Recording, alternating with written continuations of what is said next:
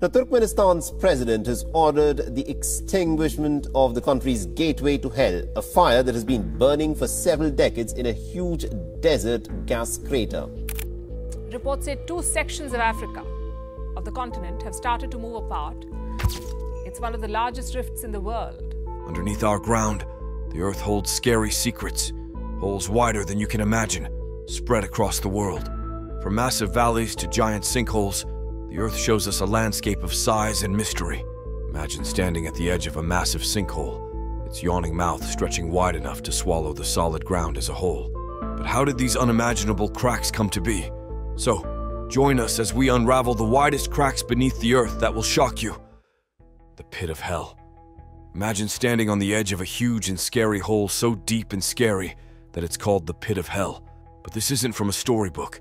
It's a real place on Earth that challenges what we know about our planet. Welcome to Darvaza, a gas crater in Turkmenistan. That's been burning for decades in a huge desert crater nicknamed the Gateway to Hell. It looks more like a place from a science fiction movie than a natural spot. The story starts in 1971 when Soviet scientists were drilling for natural gas. They made a big mistake and the ground collapsed, making a massive hole about 70 meters wide. They were worried that poisonous gas might escape, so they decided to set it on fire, hoping it would burn out quickly. But they were wrong. The fire they started has been burning for over 50 years now. The crater is in the Karakum Desert, and it lights up the night sky with its fiery glow.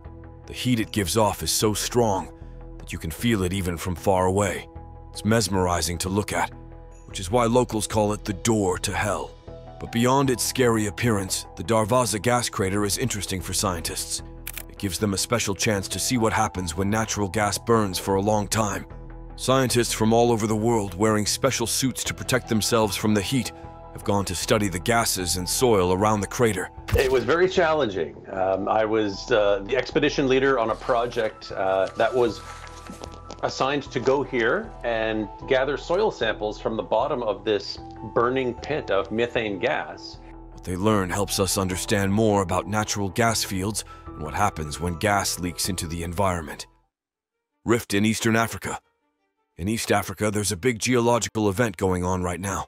It's an important process that's slowly splitting a huge piece of land into two parts. This event is called the East African Rift, and it's one of the most active rift systems in the world. The map of our world is about to change.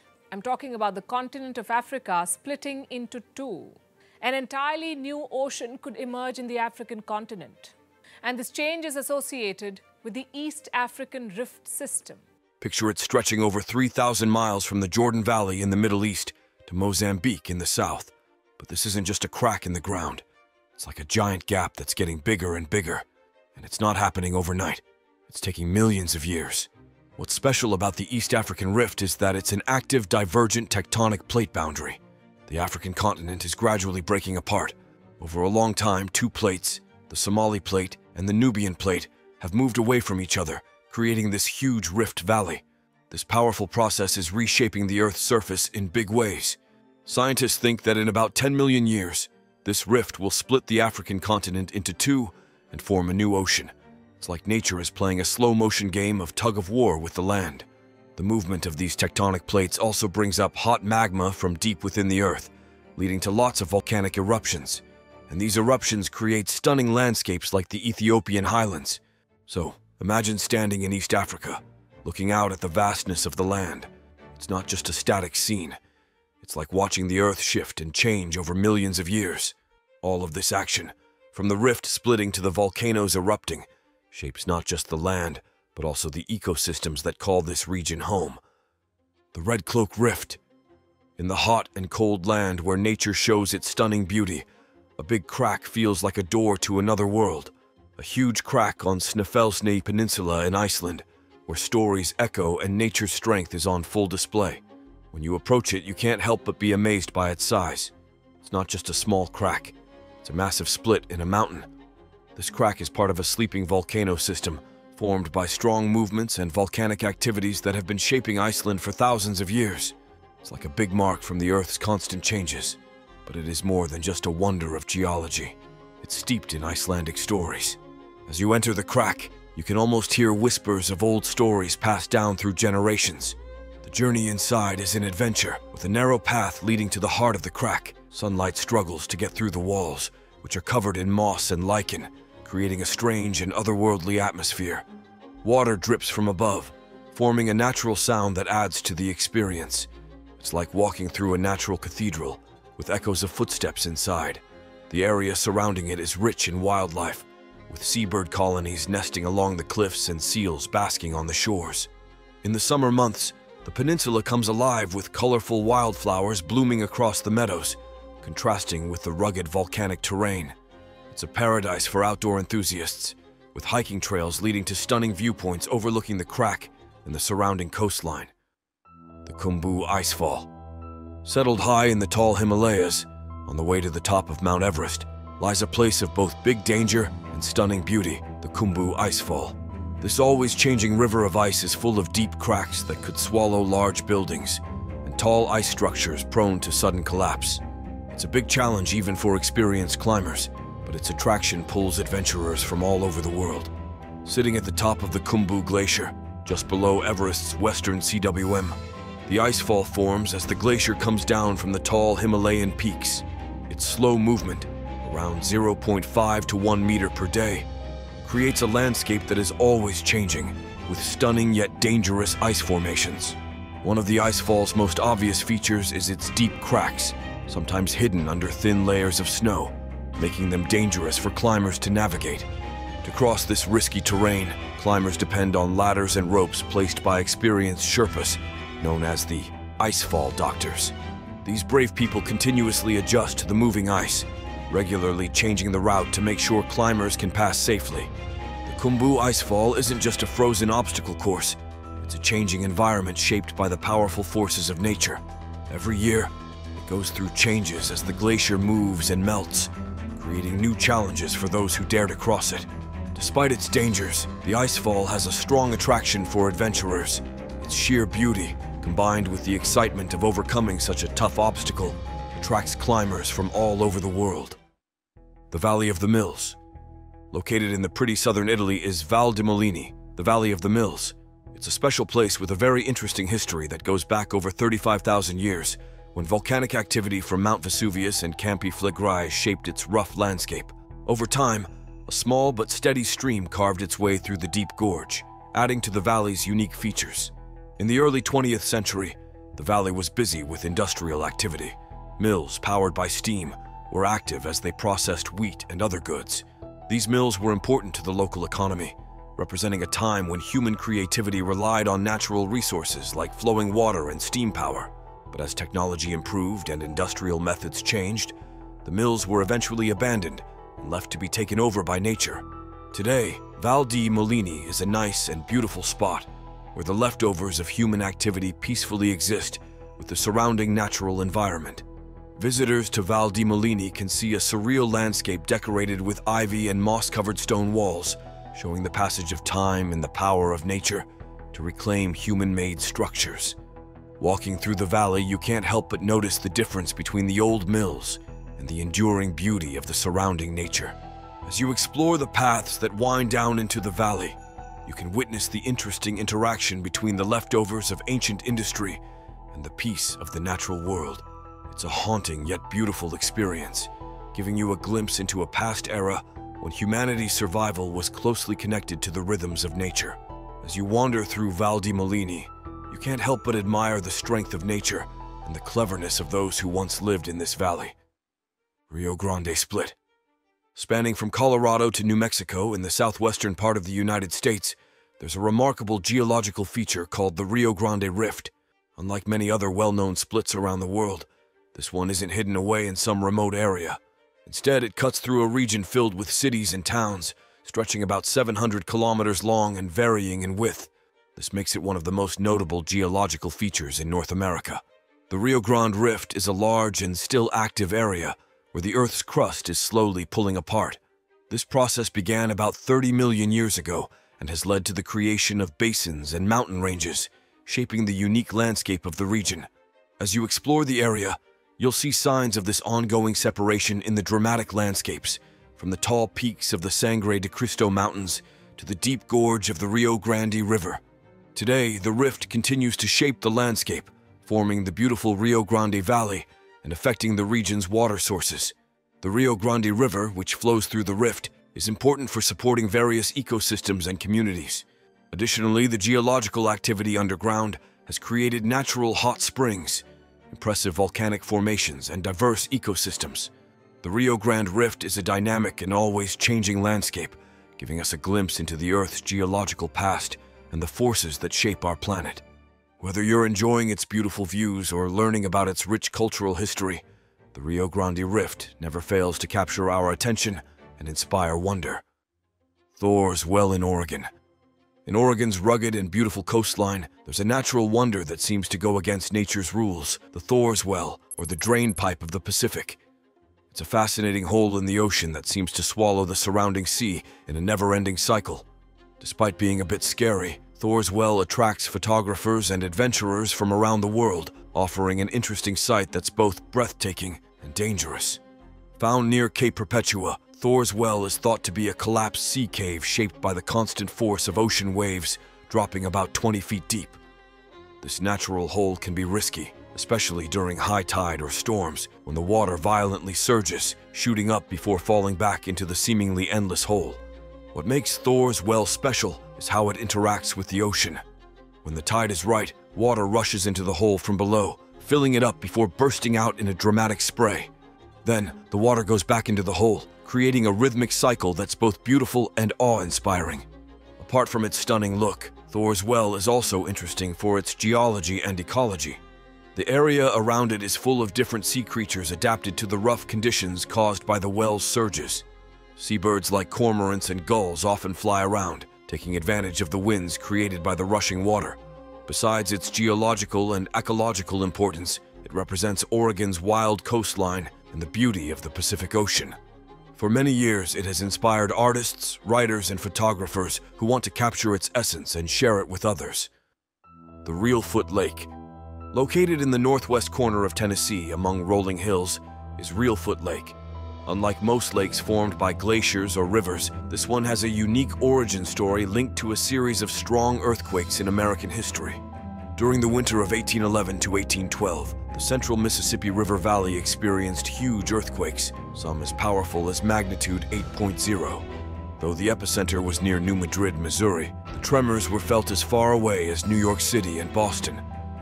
These earthquakes dramatically changed the landscape. Land moved in waves, rivers altered their paths, and new waterfalls appeared.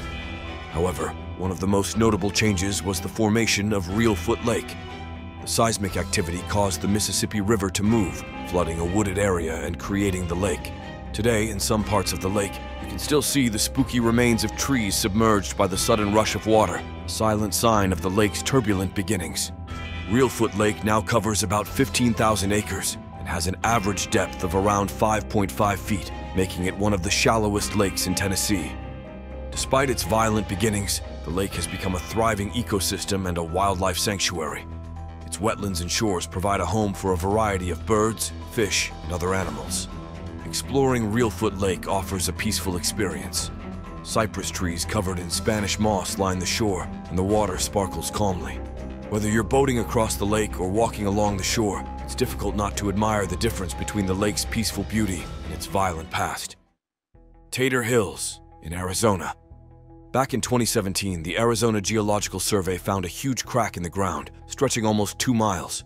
This discovery marked it as the longest crack in the area, which was quite a big deal. To learn more about it, scientists used drones to take a safe look at this long crack, giving them valuable information on how it formed. These kinds of cracks started showing up in the Arizona desert in the early 1900s because people were taking too much water from underground, which made the ground sink and cracks form. These cracks were first seen in 1977, and now there are about 11 miles of them in the area. But these cracks didn't just pop up overnight.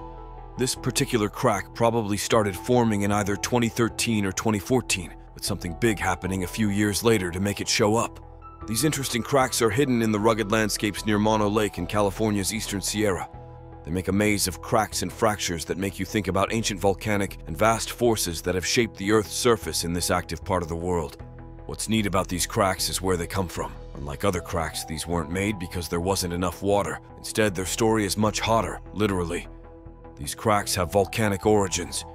They go back to an underwater explosion that happened around 13,000 years ago when Mono Lake had way more water. During this explosion, stuff got thrown out and spread under the lake's water. Also, chemical reactions with the hot water stuck a lot of the thrown out stuff together, making a solid surface. Pressure from below kept building up, making the solid surface swell and eventually crack. They have almost straight sides and can be more than 50 feet deep and about 10 feet wide. They're usually narrower, but some are wide enough for a person to walk in. However, getting to the bottom of some of them might need special gear. Mato Crack in Mexico. On August 16, 2014, in Moco, northwest Mexico, a drone with cameras took captivating pictures. They showed a strange crack in the ground, which seemed to appear suddenly. This crack was 16 feet wide and 25 feet deep. It caused big problems for the nearby farmland and a crucial road called Highway 26. This road connects Moco to the rest of Mexico. The crack was near a town called Mato, Mexico. It was really surprising because the desert suddenly had clean, straight walls and a deep hole in the ground. People were amazed by this crack. It looked like something big had happened underground. News reports from El Diario de Chihuahua and Alerta Mundial Info talked about it. The civil protection officials in Jenez got calls from residents who saw the crack. They found out about it from people in Laguna Ido who told the authorities right away. Experts went to check it out, but they didn't see any immediate danger. They couldn't figure out why the crack appeared so suddenly. Geologists from the University of Sonora nearby had an idea about what caused the crack. They thought that taking too much water from the ground for farming might be the reason.